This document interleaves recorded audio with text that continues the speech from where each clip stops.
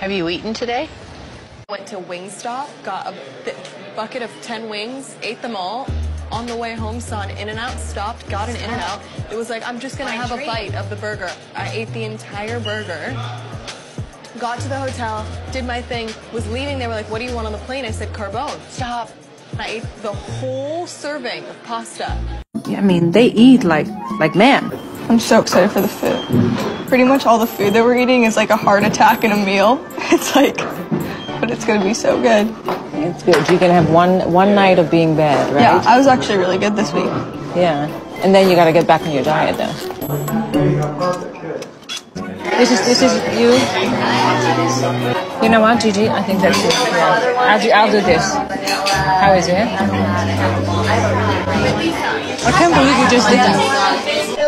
Really, really. That's like half almond. I have a couple of almonds. Chew them really well because your your stomach is not. yeah. Yeah. Okay, love you.